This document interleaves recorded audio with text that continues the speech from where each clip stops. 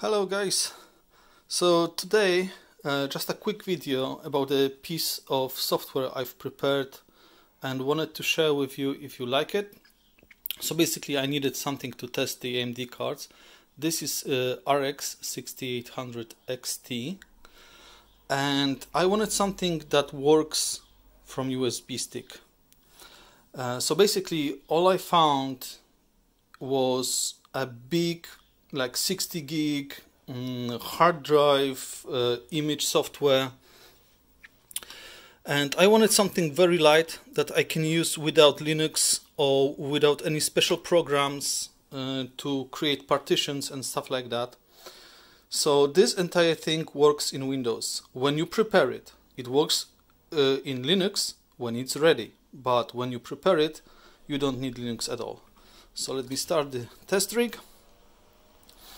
It's kind of loud because this old card has a very small fan on it. Um, and yeah, I'll, I'll tell you uh, more about it, so it will just uh, boot in a second. Okay, there we go.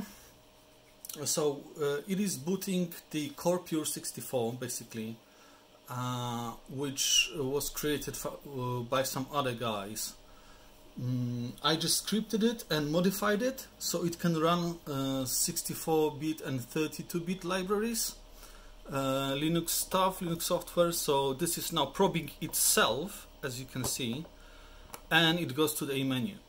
What it does uh, depends entirely on you because it's uh, the idea is for it to be preparable in Windows without any software or any special software, but also for you to Mm, not having to learn any Linux at all. So basically you add the so piece of software I prepared to the USB stick. Then you add yourself a testing software for the card you want. In my case it's RX 6800 and you just boot it.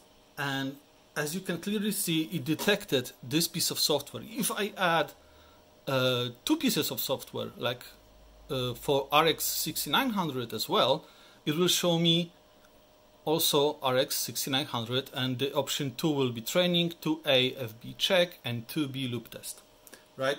But because I only added what I needed, because this is very small USB stick, uh, it just detected the one. So let me run the training test because this is what I care about. This card is not displaying and I want to know why. So I'm running the test and you can see my domain fix-o-matic.org. Uh, the software is still in the works, but I'll be sharing it, of course, for free for anyone that wants that.